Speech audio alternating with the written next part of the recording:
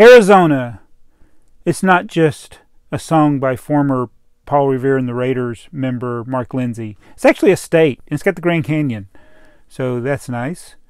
Uh, but now I can't get Arizona out of my head.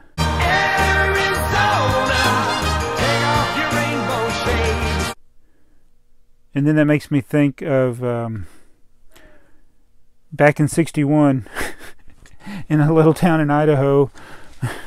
Oh, never mind. Um, getting back into Paul Revere and the Raiders' origins. I don't talk about Paul Revere and the Raiders enough on this channel, but it's one of my favorite bands, uh, basically from the 60s.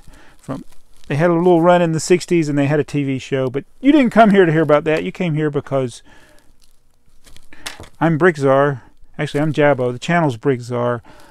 I've been doing this so long I don't know what I'm doing. And things have gotten hectic again since uh, yesterday. It doesn't take me long to mess things up, mess up the progress. So I wanted to film a video for Train Tsar Fun, and I got my trains out because trains are fun. And um, I'm storing them in these cre creator boxes, champion creator game boxes. This is not the best way to store your trains. It's okay for Lego, but I've been breaking them. I got to reglue this one and it's just not a good storage solution. And I thought about trying to get some of the th modifying some of the things that I store Lego in, but I'm probably gonna have to get like a um, one of those small bin carts that which work good for Lego, but I want to get something where I can put uh, these trains in. So I've set all these over here for now. Uh, I, have broken so many horns and smokestacks and all that kind of stuff. I've bent my flat car I got a whole Lego version of this train though. Uh, it's uh, this this flat car, so the brick model railroader stuff. I need to continue to work on that. I have several brick model railroader Lego cars that I've made, and what I try to do is get the HO scale equivalent of that same one. So I got a whole little thing going uh, with that. But that's uh, yeah. So I, I've messed up my table. Uh, and I'm going to go through uh, and figure out where I'm going to put all these shirts that I've been wearing all this year. It's got two days left. Two days after today. It's hard to believe. And where are you going to put 365 shirts? We're going to the dark regions of the basement. This is a bunch of random stuff. I'll show you where I got it. It's like the part of the basement I don't even want to mention because it's uh, it's a mess. Um, so I've been emptying out all these drawers. This is where I used to keep all the shirts. So uh, I would come over here each day to get a shirt, but now these drawers are empty. I don't know how many. These this is actually my both of these used to be my daughter's. That was her original one, and then she, yeah, she put labels on it. Um, and then this is the one when she got a little older, but then she's moved out and she didn't keep this. Uh, but uh, there's one, two, three, four. There's five drawers in that one, four in that. I don't think I can put a month's worth in those drawers, but I can probably store a lot of my shirts. So I've been going through and emptying them out. Oh, goodness. But I find stuff like this. Uh, that's used. Angry Bird stuff. I don't know I still got all this. Took this out of there. This is my old eBay and Bricklink orders and stuff from like 20 years ago. 15 to 20 years ago. The eBay stuff's like 20 years old. The Bricklink started in 2004 selling. This model railroader. Oh, you know, um, so model railroader, I had a subscription for a while. I got all those magazines. Then behind all these boxes are more boxes upon boxes.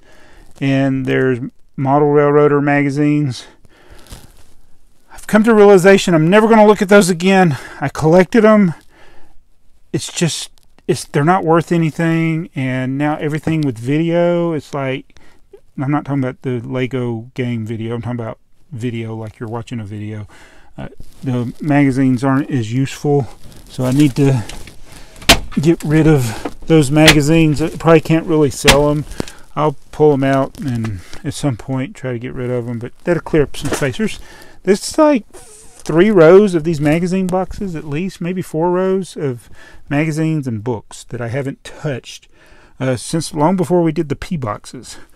These are all the P boxes that we did a video series series, and I'm going to be oh I got a project I'm going to be working on in 2022 as far as that goes. Yeah, I can't even I can't even hardly access these.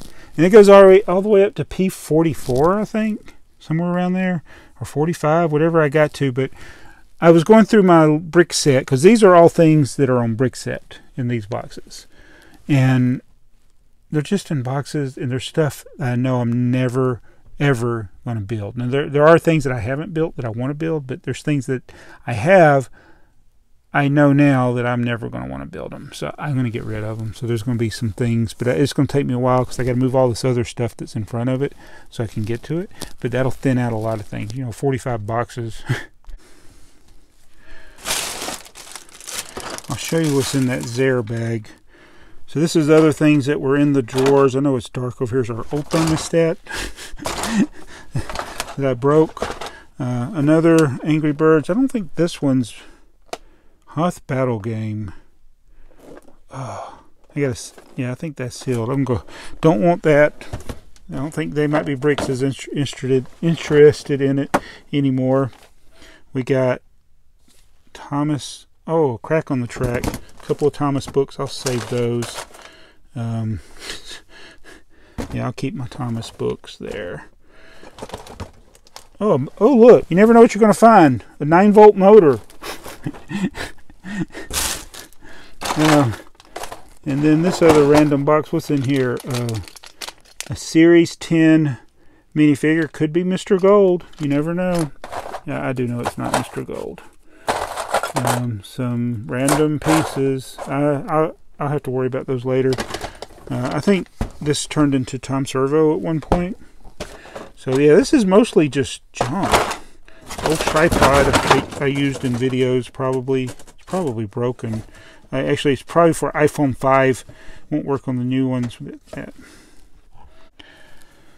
Does anybody remember Zayre, or as we used to call it, Zayres? Uh, this is a Zayres, or Zayre bag. Uh, I know where the old Zayre used to be in Austell, Georgia. So this says Jaabo's Mine. Is it Minecraft? All right, this, uh, just a viewer discretion advised warning here. This is my oldest thing that I have. Oh. Oh my goodness. It is in pretty... It's got some... Uh, what do you call it? Uh, silverfish mixed in with it. Oh, it's disgusting. Um, yeah, this was my security blanket. Basically. oh, it's it's sad. I don't know if it was it this bad or is it just oh, it's pretty bad. So my mom couldn't throw it away she gave it to me. Um, I don't remember because I was like one, two.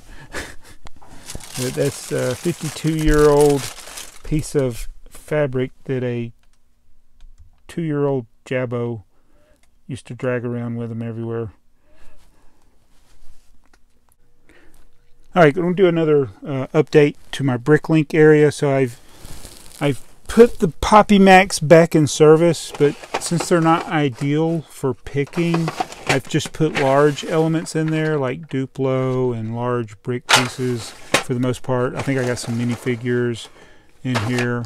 Uh oh, crushing a Benny there. So I, have gone back to using these.